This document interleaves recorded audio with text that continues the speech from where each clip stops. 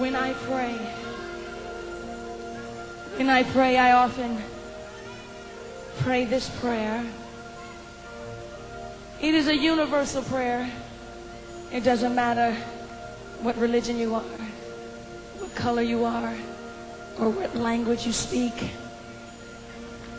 God is everywhere, and He loves all of us. And this is what I say to Him Give us this day our daily bread. You send you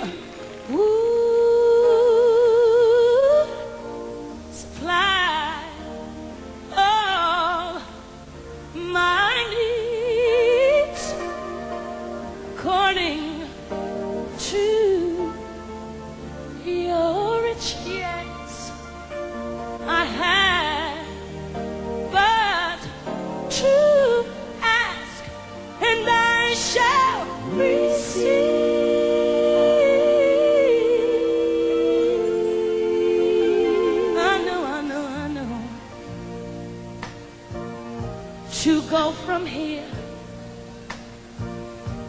and share this love you gave to